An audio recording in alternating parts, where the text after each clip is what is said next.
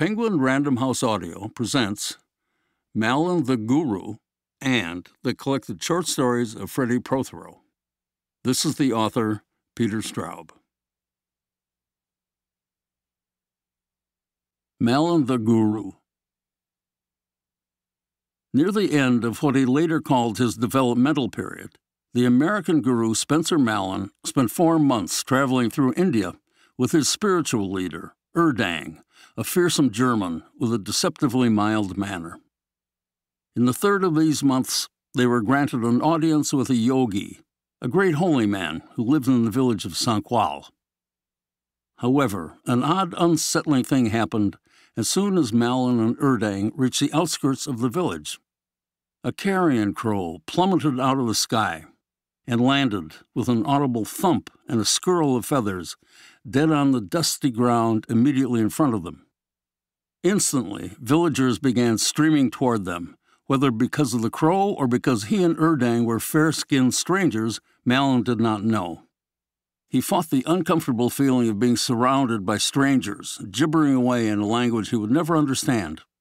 And in the midst of this great difficulty, tried to find the peace and balance he sometimes experienced during his almost daily, generally two hour meditations. An unclean foot with tuberous three inch nails flipped aside the dead bird. The villagers drew closer, close enough to touch, and leaning in and jabbering with great intensity, urged them forward by tugging at their shirts and waistbands. They, or perhaps just he, Spencer Mallon, was being urged, importuned, begged to execute some unimaginable service. They wished him to perform some kind of task, but the task remained mysterious.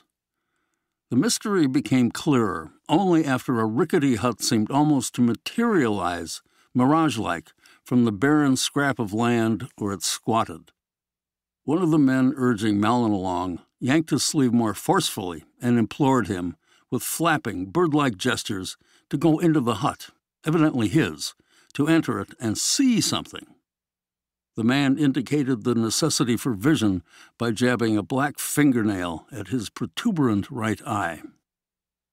I have been chosen, Mallon thought.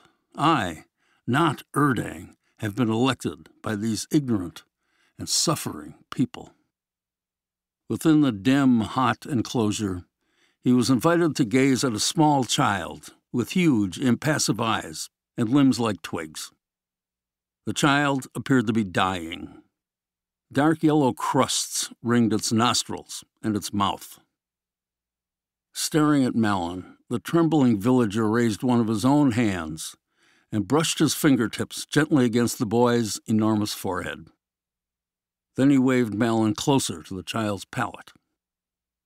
Don't you get it? Erdang said. You're supposed to touch the boy. Reluctantly, unsure of what he was actually being asked to do, and fearful of contracting some hideous disease, Mallon lowered his extended fingers toward the skeletal head as if he were about to dip them into a pail of reeking fluid drawn from the communal cesspit. Kid, he thought, I sure as hell hope we're going to see a miracle cure. At the moment of contact, a tiny particle of energy, a radiant erg as quick and flowing as mercury, passed directly from his hand through the fragile wall of the boy's skull. In the midst of this extremely interesting phenomenon, the father collapsed to his knees and began to croon in gratitude. How do these people know about me? he asked. The real question is, what do they think you did? Erdang said. And how do they think they know it? Once we've had our audience, I suggest we put on our skates. Erdang, Mallon realized, had no idea of what had just happened. It was the restoration of a cosmic balance. A bird died, and a child was saved. He had been the fulcrum between death and the restoration. A perfect Indian experience had been given to him. The great yogi would embrace him as he would a son. He would open his house and his ashram and welcome him as a student of unprecedented capabilities. Proceeding down a narrow lane in the village proper, Mallon carelessly extended two fingers and ran them along a foot or two of the mud plastered wall at his side.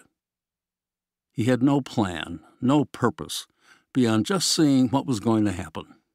For he knew that in some fashion his touch would alter the universe.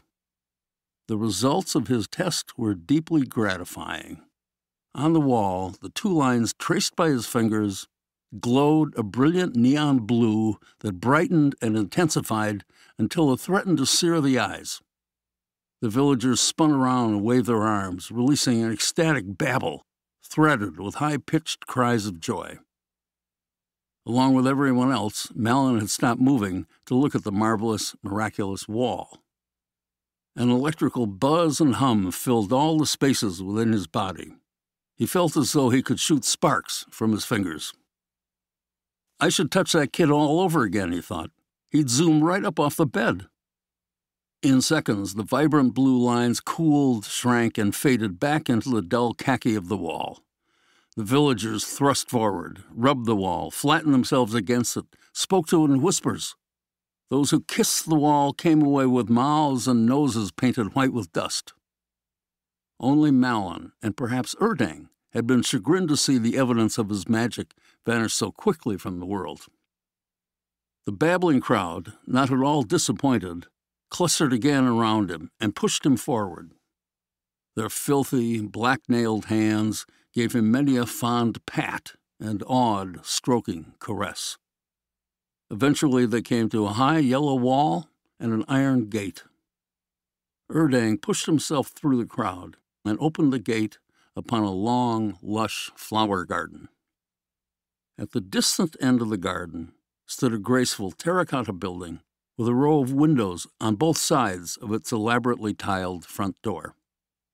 The dark heads of young women appeared in the windows. Giggling, the women retreated backward. The villagers thrust Mallon and Erdang forward. The gates clanged behind them. Far away, an ox cart creaked. Cattle lowed from behind the creamy looking terracotta building. I am in love with all of India, Mallon thought. Come nearer, said a dry, penetrating voice. A small man in a dhoti of dazzling white sat in the lotus position just in front of a fountain placed in We hope you enjoyed this preview. To continue listening to this audiobook on Google Play Books, use the link in the video description.